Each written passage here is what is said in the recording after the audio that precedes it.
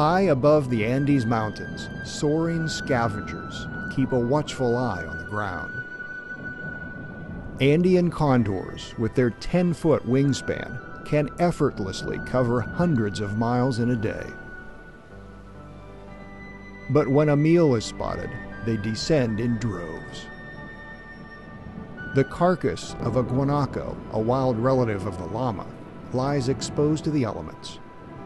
A gray fox gets to the carcass first, but not soon enough. Dwarfed by the condor's bulk, the little gray fox will have to wait its turn, but there will be little left when the condors are finished. Adult males weigh in at 25 pounds and will quickly reduce the carcass to a skeleton. The condors are attracted not only to life's end, but also its beginning. Stillborn calves or afterbirths are a welcome source of food. Temperatures in the Andes can be extreme. A baby guanaco born late in the day dies from the cold.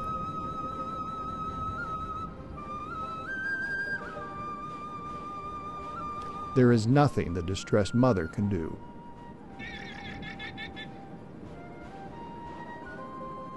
The condors will hang on the wind until the baby is still. But its mother is hesitant about defending it.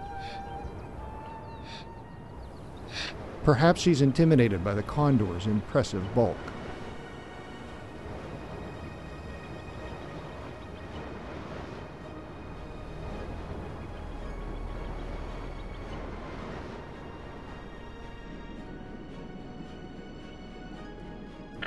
Before the birds can get their fill, the mother chases them away. Feathers unruffled, they take to the skies.